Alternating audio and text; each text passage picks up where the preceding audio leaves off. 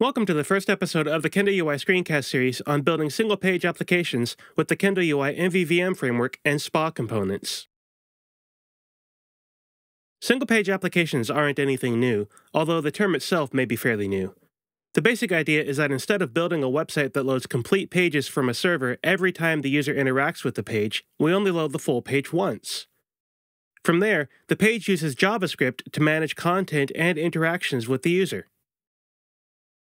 If this all sounds familiar, well, it should. This is what we used to call interactive web pages, and it's why control suites like Kendo UI exist. The idea of a single page app moves far beyond just interactive web pages. A lot of pages can be called interactive and display these very basic characteristics, but a single page application tends to take this further. A highly interactive site will have a number of complete browser refreshes from the server, each page is interactive, but moving to a new context or a new feature requires a full server round trip. A single page app tends to eschew this in favor of dynamically replacing content in the already rendered screen using JavaScript. That is, entire sections of the site will be taken down and replaced without reloading everything from the server.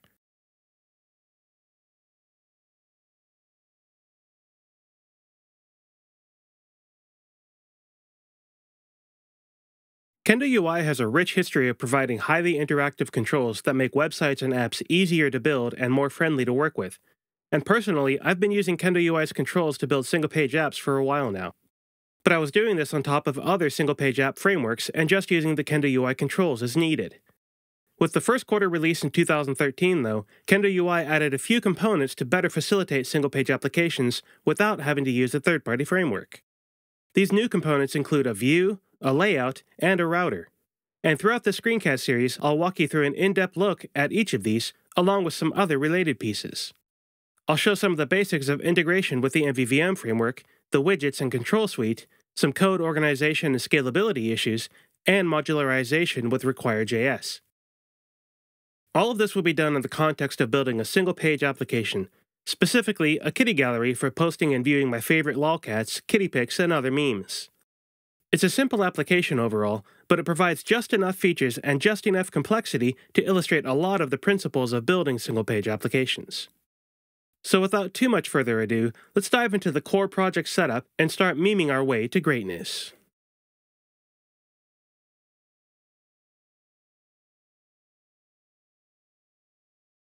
I'm going to be building the backend server for this application with Node.js and Express.js. Now don't worry if you're not familiar with these though. They're simple to set up and you won't need to do anything other than download the server code and run a few commands to get started. If you already have Node.js installed and are comfortable with it, you can skip past this section of the screencast. Just be sure to install the npm packages and run the app.js file for the server. If you're not familiar with Node.js though, I'll walk you through setting it up pretty quickly. Now normally I'm using a Mac to code and record screencasts, but I'm going to do this part of the screencast on a Windows machine as I expect most of the viewers to be using Windows. The good news is that the steps are basically the same on Windows, Mac, or Linux. So if you're on one of those operating systems, you should be able to follow along easily. To get started then, head over to nodejs.org and download the latest version. As of recording this, that's version 0.10.5. Once you have the installer downloaded, run it and follow the instructions on the screen. It shouldn't take more than a minute or two to get things installed. Next, you're going to need a copy of the server's source code, and I've made this available on this GitHub project page. You can either clone the repository if you're already familiar with Git, or just click this link to download a zip file of the repository. If you've downloaded the zip file, go ahead and unzip it into a project directory somewhere. Now there's one more step that you need to do in order to get the project set up and running. Open a command prompt or terminal window depending on your operating system, and go to the folder with the code that you cloned or unzipped. From here, run the command npm install. This tells the Node Package Manager to install all of the dependencies for the project. Note that this is just a one-time setup. Once you have this done, you shouldn't need to do it again. After everything is finished installing, you can run the web server with another simple command node app.js. This tells your Node.js installation to run the application and the configured web server, Express.js. Open a browser and go to localhost colon 3000, and you should see a basic layout for the project. I've already set up the core structure and CSS that you need for the project, so we can focus entirely on the MVVM and SPA code for the project. Hopefully you have everything set up and running and are seeing a web page similar to mine at this point. With that being done, let's dig into the first bits of code for this Kitty Gallery single-page application.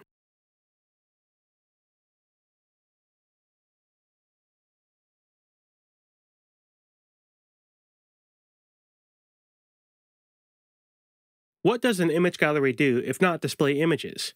To get the app rolling then, I'm going to set up a kendo.view object that will display a kitty on the screen. Now Kendo UI has long provided the ability to render HTML templates, bind a view model to the HTML, create controls and widgets through data attributes, and more. With the introduction of Kendo.view, though, the orchestration of these pieces has been consolidated into an easy-to-use API that provides a better semantic understanding of the functionality it encapsulates.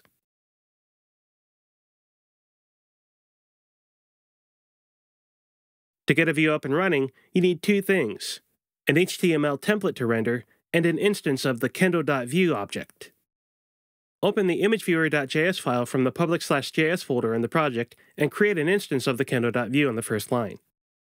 And for the HTML template to render, pass a string containing an image tag with its source set to a placekitten.com image. With that done, you can render the view instance by calling the render method with no parameters.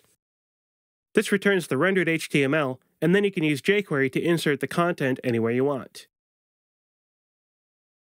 The imageviewer.js file is already included in the page source, so you can save the file now and when you refresh your browser, you should see the kitty from placekitten.com. Now this isn't the most interesting of view objects, even if it does give us the desired result. Having hard-coded HTML doesn't do much good in a data-driven application, so let's replace this with something that can be a little more dynamic.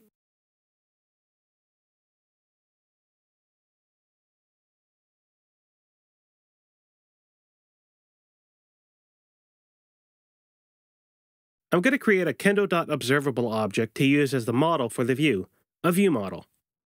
This image object has a URL attribute that will control the image displayed in the view, and you can set it to the same image for now. Next, update the view template by adding a data bind attribute and tell it to use the URL attribute from the image model as the source of the image tag. Now assign the observable as the model for this view instance, and with that, you can save the page and refresh the screen to see the same result. Only in this case, the image is produced from the combination of the view model and view, not just the hard-coded template. Instant single-page application capabilities, right? Well, maybe not yet. This is a good first step, but it isn't anything really new if you're already familiar with the MVVM pattern and Kendo UI's observable objects. The real difference is how the view wraps up a lot of the plumbing code that you previously had to write yourself. The page is still lacking in some features though. It's nice to have an image, but it really needs an image list if it's going to be an image gallery. Before moving on to the list view configuration though, there's a problem with the template that needs to be fixed. The template is currently hard-coded into the JavaScript, and that is definitely not what you want to do for a long-term application development process.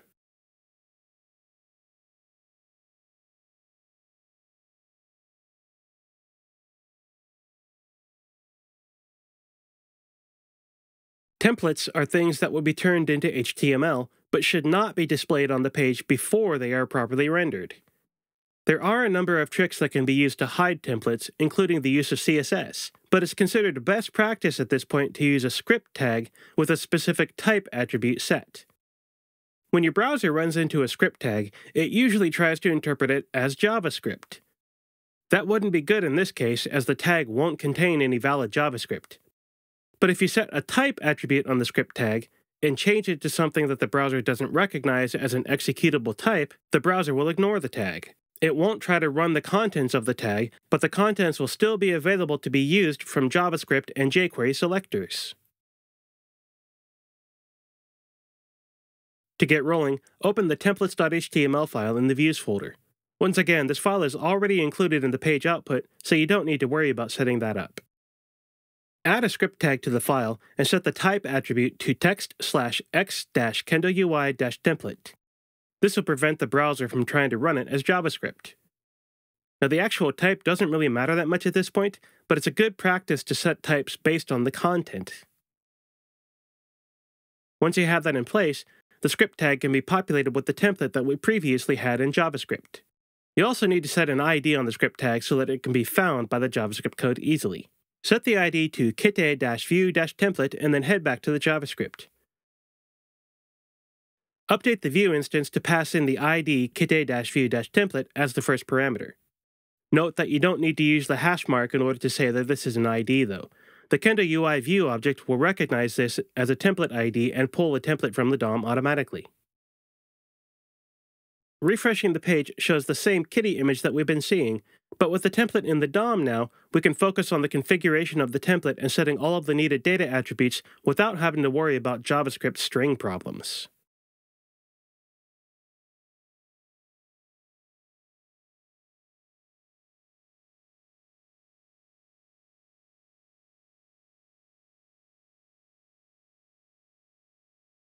Configuring widgets and controls for views may be familiar if you've worked with the MVVM framework in the past. Using various data attributes on DOM elements allows the Kendo UI suite to initialize the controls and widgets as needed. Doing this, instead of manually calling the control initialization in the view models, allows the Kendo.view to be in control of when the widgets are initialized. With this in mind, we're going to set up a list view to show a list of images now.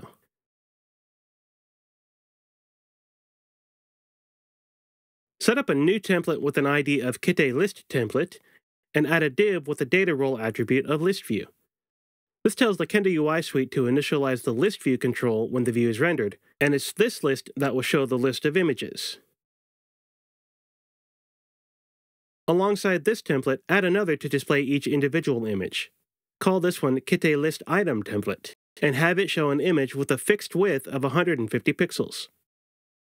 This will force the image to display smaller than the original, making it easier to see the list of images.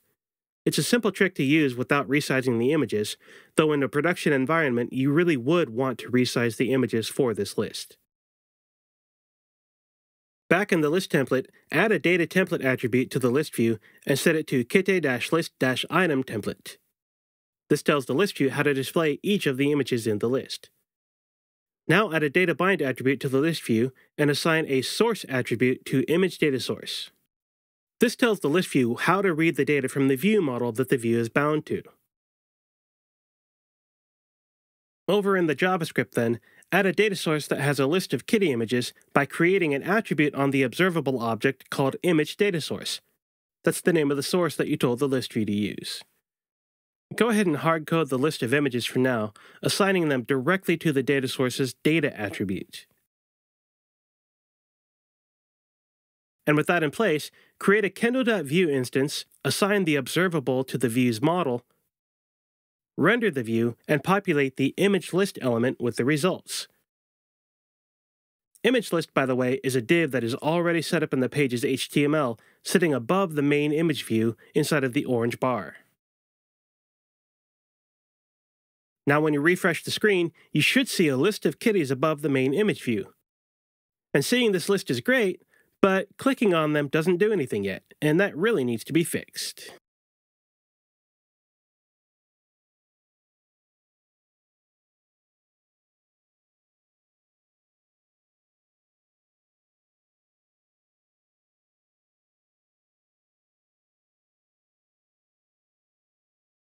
There are more ways to click an image and show it in the view than can be listed, but the Kendo UI list view makes it easy to pick. It gives you a selectable attribute and a change event that can be used to select an image and know which one was selected. In the template for the list view, add a data selectable attribute and set it to single. This allows a single item from the list to be selected. Now go back to the data bind attribute and add an events hash with the change colon image clicked setting. This sets up the event handler for the item selection in the list view. Back in the JavaScript, set up the image clicked method on the observable object for this view. This method receives a single argument for the event details, which provides access to the item that was selected. Once you have the item that was selected, update the observable object with the new image info. Since the same observable is being used for both the image list and the image view, you can just call this.set and update the current URL. Head back to the browser and refresh. Now when you click an image in the list, you should see it displayed in the main viewing area, and thus the Kit gallery is born.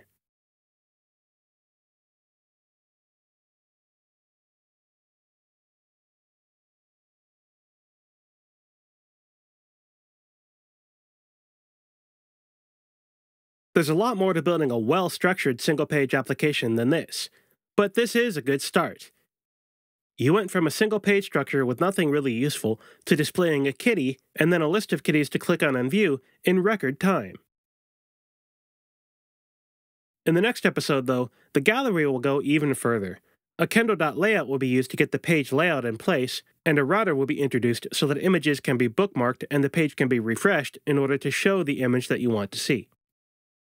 So stay tuned, there's a lot more awesome to be found in Kendo UI's MVVM framework and SPA components.